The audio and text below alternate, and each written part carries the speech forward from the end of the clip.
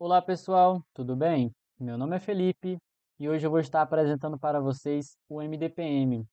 Bom, para você que nunca viu ou ouviu falar sobre ele, bom, este é um mod recente que chegou na comunidade, é uma bela de uma inovação.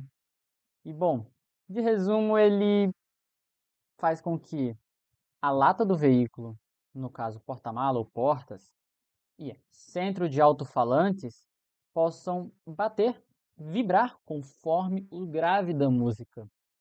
E no caso do meu ressource, também fazer com que o LED ali ele consiga também ter uma vibraçãozinha, né, as cores, a opacidade em relação à música no geral, não só os graves, ok? Isso também vale para os agudos e os médios. Bom, para iniciar, eu vou mostrar como faz a configuração de licença. Já a configuração no geral, vocês podem dar uma lida e ver que, é que vocês podem querer mexer aqui, né? Até para fazer as configurações dos objetos e tal.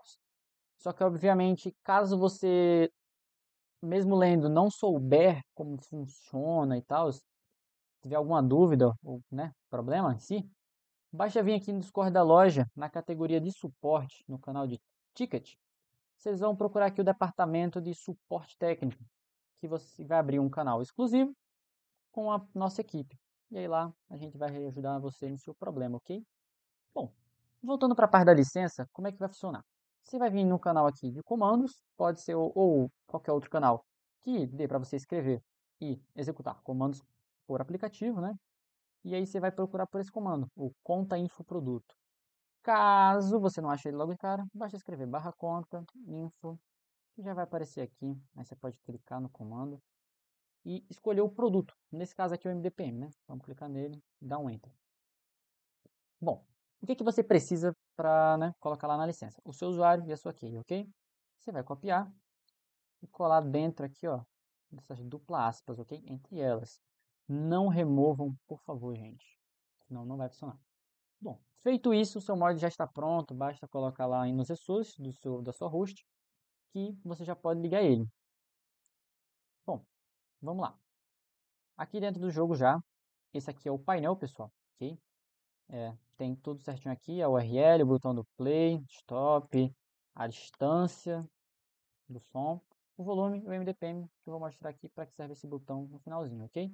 Vocês podem configurar a cor do painel, mudar a logo aqui, obviamente, e várias outras configurações, né? Basta dar uma lida lá, vocês podem ver. Bom, vamos colocar aqui o link de uma música. Para testar. E bom, pessoal, você pode, como muita gente já está acostumada, também tem como você escrever aqui Cetrádio, espaço, depois o link da música que vai funcionar ó, da mesma forma, veja. Tá vendo? Mas também se eu fizer isso por aqui, colocando o link da música, ou até colocando o antes, também vai funcionar da mesma forma. E bom, vamos colocar aqui uma distância diferente, né? A distância por padrão vem 80 no script. Mas eu vou colocar aqui sem, vou dar um play na música. E aí agora a distância da música vai ser 100 metros em relação ao carro, ok? Que vai dar para escutar. Bom, vou entrar aqui no modo print e vamos ver como é que funciona aqui o MDPM. Bom, o LED do estrobo, ele vibra né, conforme desde os agudos aos graves, então você pode ver que ele está vibrando a iluminação, a opacidade.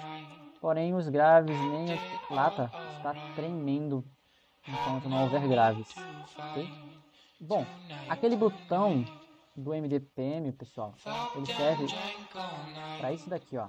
Se você desativar, não vai vibrar nem os alto-falantes, nem a, a, lata e não vai mexer o LED do strobo. E agora parte principal.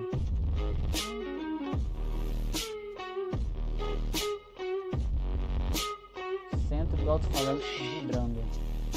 Mesma coisa do porta-malas. Nesse caso aqui eu não configurei também as portas, mas você pode configurar as portas também para vibrar.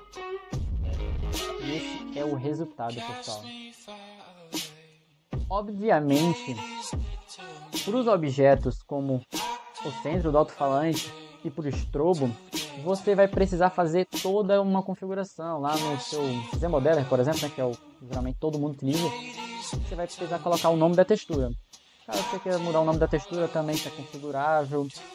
Né? Caso você tiver dúvidas, como disse, basta abrir lá um ticket de suporte técnico e vamos já lhe ajudar. Mas esse é o verdadeiro potencial desse resource, que realmente é uma bela de inovação. E eu, eu especialmente trouxe esse resource aqui nesse painel, bem mais organizado, bonito, bem feito e totalmente configurável. Então, Espero que vocês tenham gostado muito. E eu fico por aqui. Muito obrigado a vocês por terem assistido até agora. E tchau.